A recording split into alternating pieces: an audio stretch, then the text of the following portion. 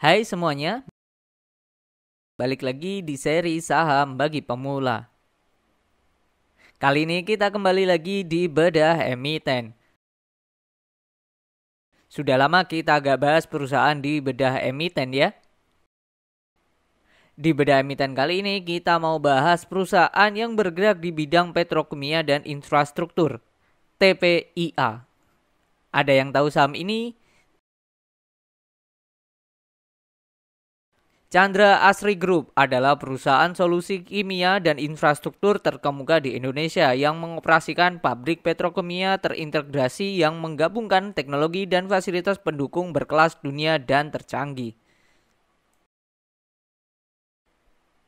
PT Chandra Asri Pasifik Tbk dengan kode saham TPIA dahulu PT Chandra Asri Petrochemical Tbk didirikan pada tanggal 2 November 1984 dengan nama PT Tripilta Indonesia TPIA juga merupakan bagian dari Barito Group.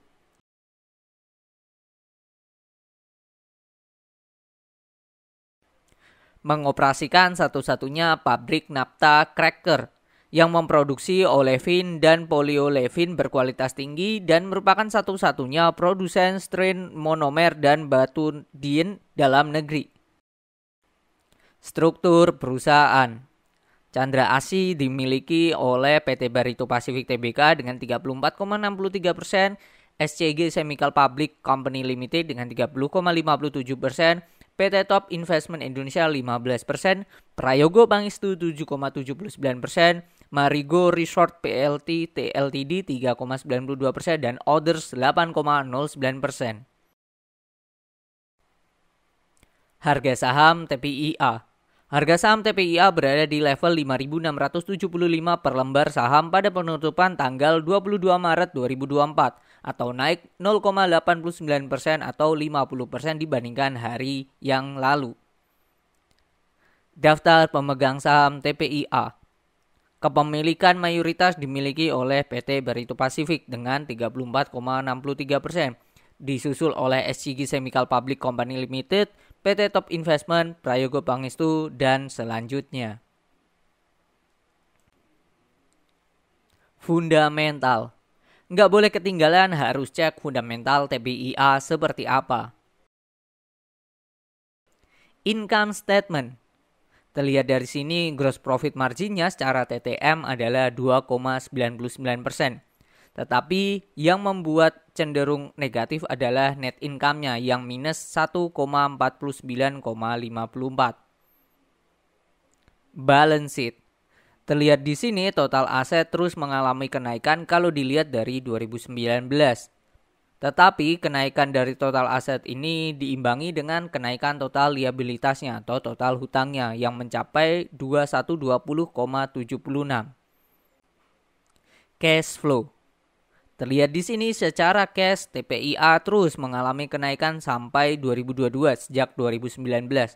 Tetapi secara net change in cash kondisi saat ini TPIA di 2022 mengalami hal negatif.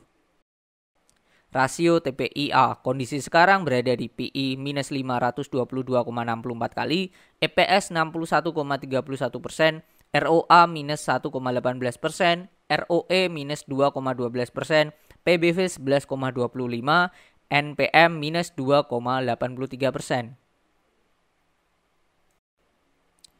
Teknikal Kalau dilihat sejak Desember 2023 sampai saat ini kondisinya setway dengan range yang lumayan lebar yaitu range 3000-an sampai 6000. Tetapi kalau dilihat dari harga 5675 kondisi saat ini berada di kondisi resisten Nah, menarik untuk melihat apakah TPIA berhasil break dari 5675. Berita terbaru. Mengutip dari bisnis.com, emiten Prayogo Pangestu, PT Chandra Asri Pasifik Tbk, kode saham TPIA, menandatangani kontrak pembelian garam dengan perusahaan Australia BCI Mineral Limited. Perjanjian off-take dilakukan untuk menggunakan garam yang diproduksi di proyek Mardi untuk pabrik kol alkali skala global yang saat ini sedang dikembangkan di Indonesia.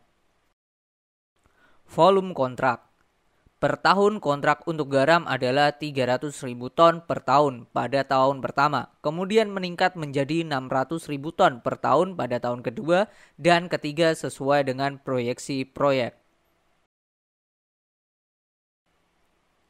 Itu tadi beda emiten saham TPIA. Kalau lihat dari fundamental memang kurang bagus, tapi selain fundamental teman-teman bisa menggunakan pertimbangan lainnya jika ingin membeli saham TPIA. Itu tadi yang bisa kita share. Jangan lupa buat subscribe, belajar investasi saham ya. Kita belajar bareng di seri saham bagi pemula. Selanjutnya mau bedah emiten sektor apa lagi? Ikutin terus video kita masih di seputar saham bagi pemula. Tentunya di YouTube belajar investasi saham.